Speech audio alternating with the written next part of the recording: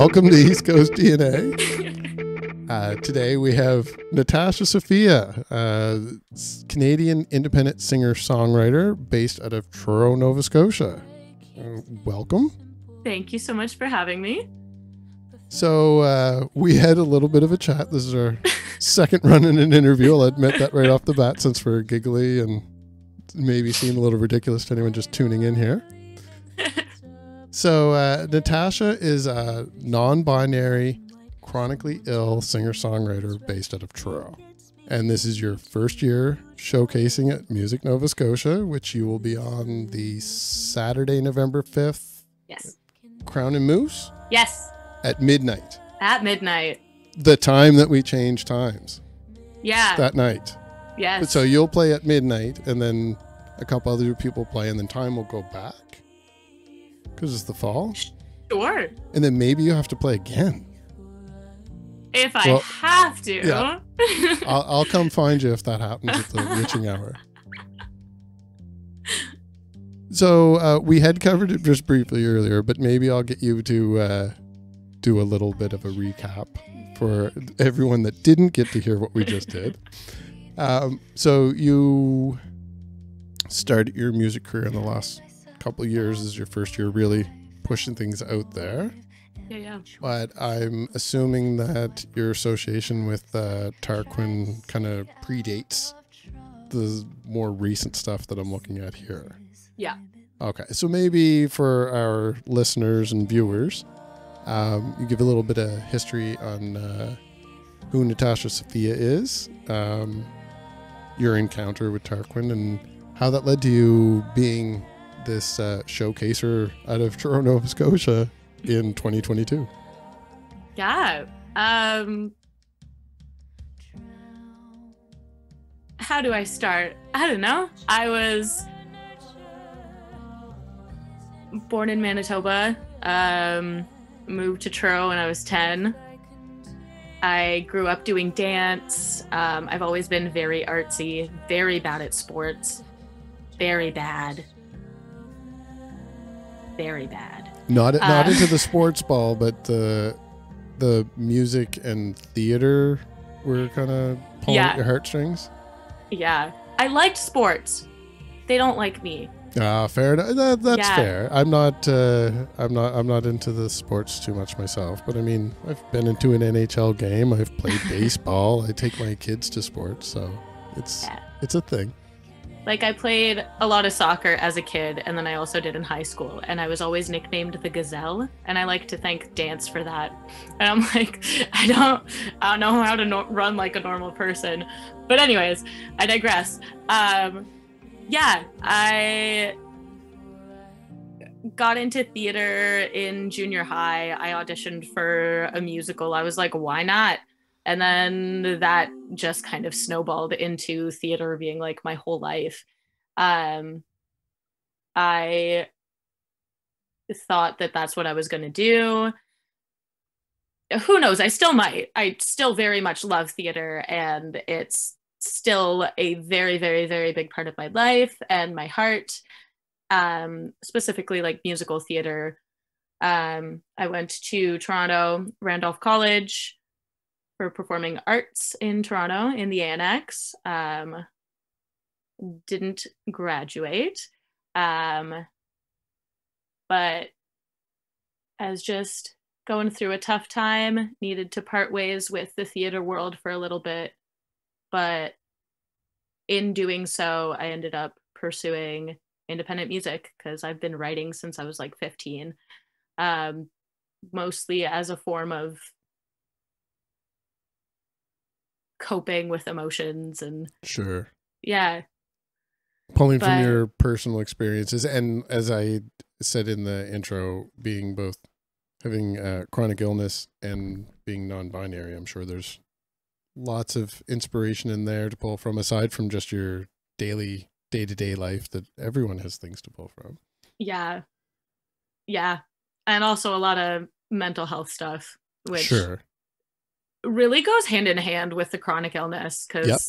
I was I was going to kind of assume yeah that. yeah And so when you were in Toronto, that was like not a super long period of time, but was that a period of time when your chronic illness had started? Is that kind of leading to you stepping away from the theater a little bit at that point, or was it more later? Things were happening that direction anyway. Yeah, I I mean, in retrospect, looking like looking back in hindsight, you can Yeah. notice things a lot easier. And I'm like, oh, I've actually been dealing with fibro for a really long time. Um, but I it definitely became a lot more prevalent in Toronto. I was there Sure. for like three and a half ish years Okay. living there. So even after I was done school, I just stayed in Toronto for a bit. I was like, Okay. well, I'm just, I might as well just stay here, see what else there is for me. Um, and the healthcare system in Toronto, they just have a lot more resources than we do in Nova Scotia, which Yeah. I do. We're not even going to open that can of worms. Well, my co-host is a paramedic who Oh my gosh. is on not in this episode because he has some long-term COVID symptoms that are preventing him from doing this. So he he would actually probably with the chronically ill part, he would uh, hundred percent understand everything that you're saying.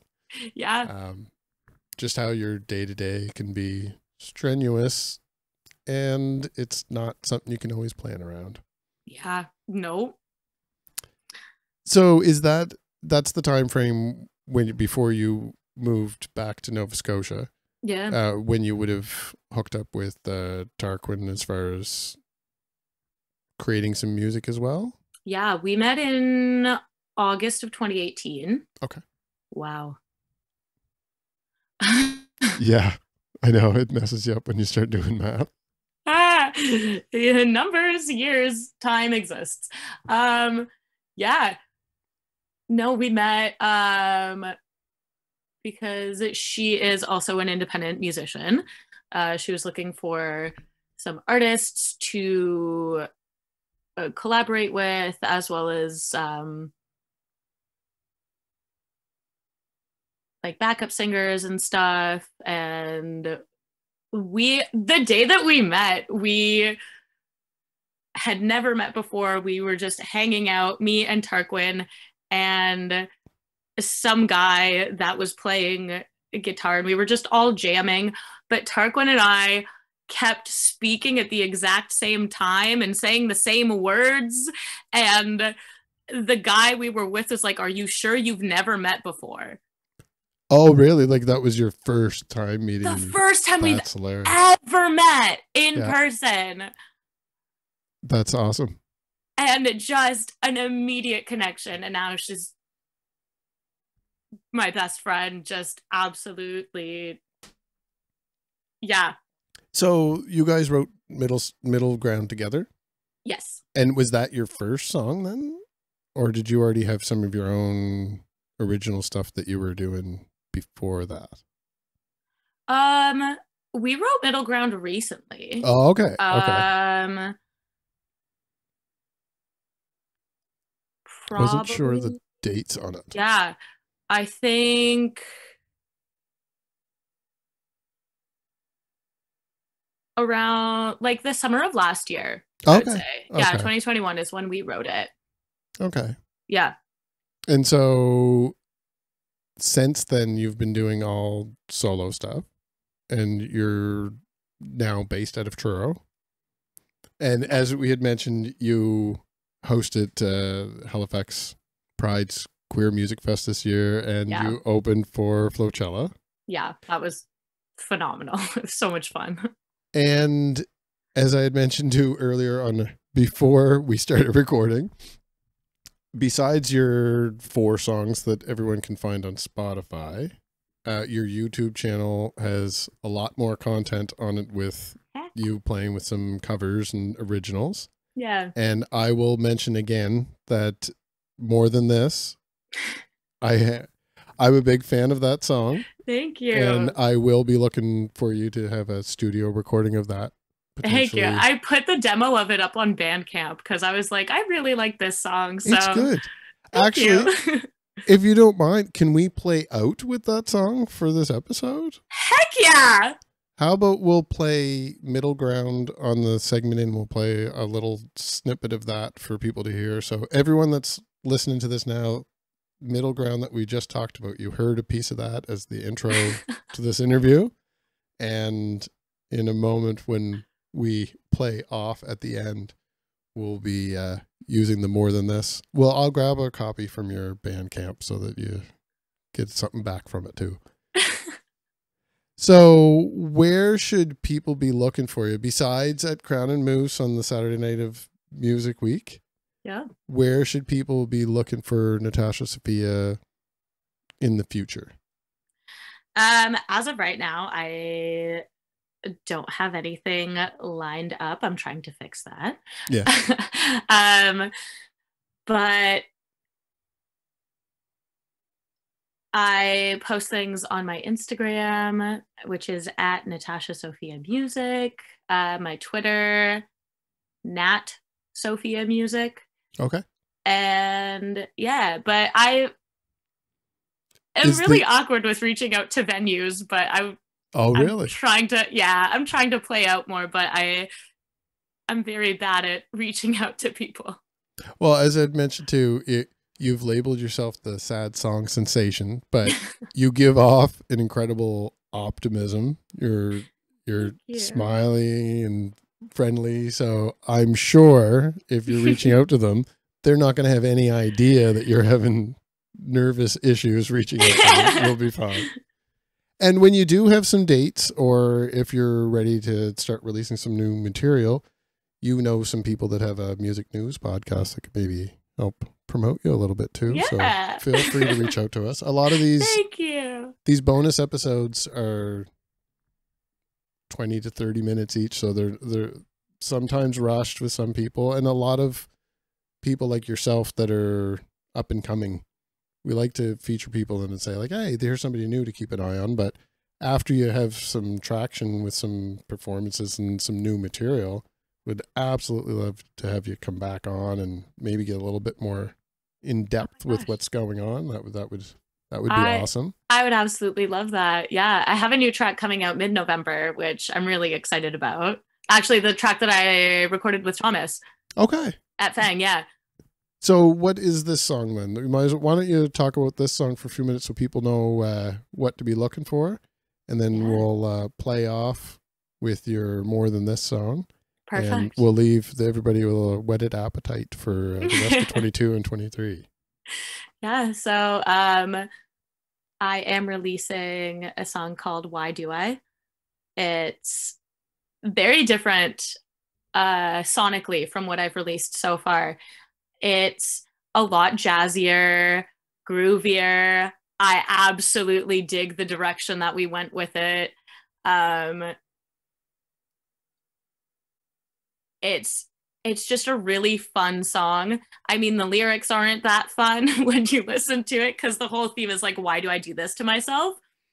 Um, which I'm sure we've literally all said that to ourselves at least once. Relatable pop songs.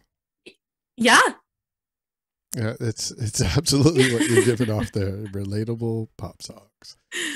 yeah, and it's I'm really proud of what it became. It's so different from the demo that it started out as, and it's just become a really awesome piece that I can't wait to share with people. And yeah, Awesome. And you said mid November that comes out. yes, date will be announced.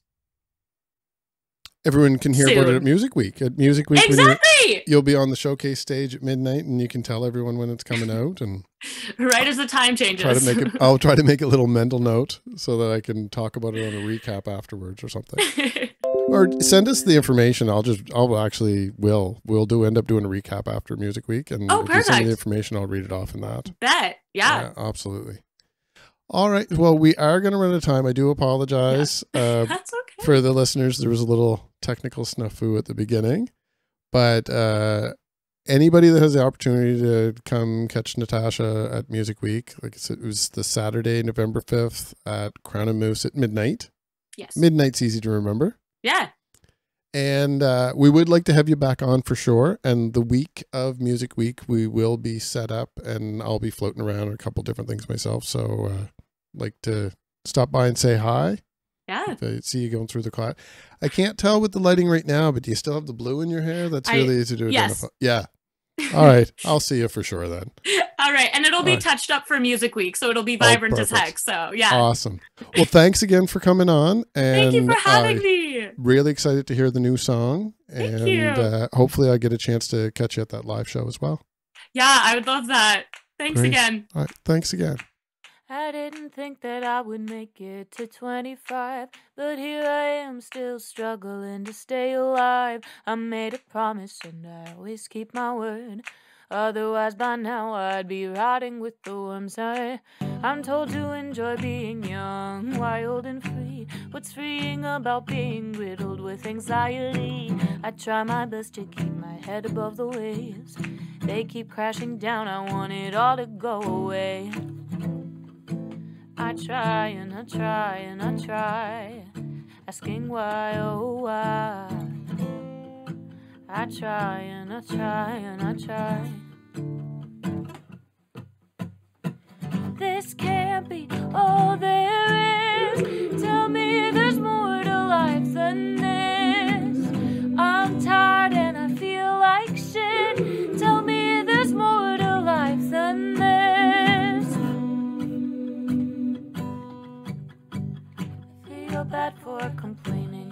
About my lot. I should focus on haves instead of have nots. But I'm bitter, jaded, and upset that everything I've done wrong is implanted in my head. I try and I try and I try, asking why, oh why. I try and I try and I try.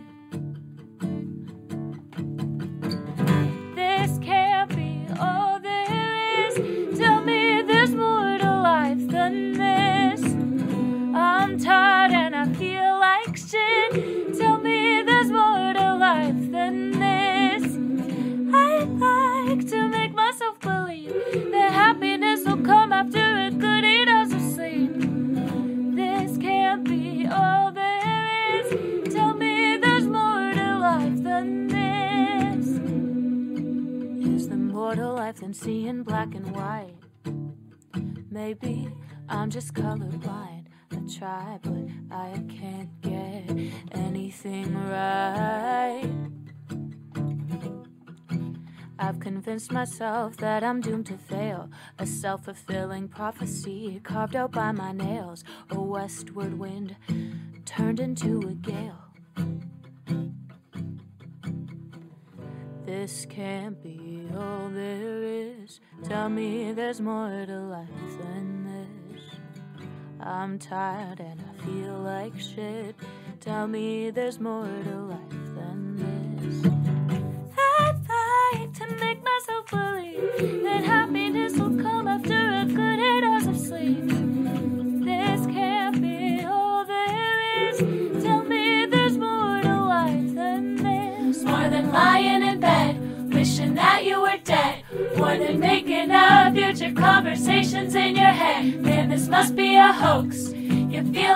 your